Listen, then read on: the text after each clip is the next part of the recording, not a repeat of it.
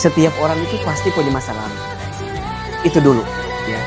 Setiap kita punya masa lalu, setiap kita pernah uh, hadir di masa lalunya. Maka yang berlalu biarlah berlalu. Makanya ada ada istilah begini. Masa lalu itu bukan untuk dilupakan, tapi untuk dimaafkan. Ini saya ulangi ya. Jadi katanya masa lalu itu bukan untuk dilupakan, tapi untuk dimaafkan. Karena kenapa? Karena kita akan susah untuk melupakan. Semakin berusaha keras melupakan, semakin tidak akan lupa. Iya kan? Maka cukup memaafkan saja yang sudah terjadi. Bahkan kalau bisa ya doakan juga gitu ya. Orang yang pernah ada di hati kita di masa lalu.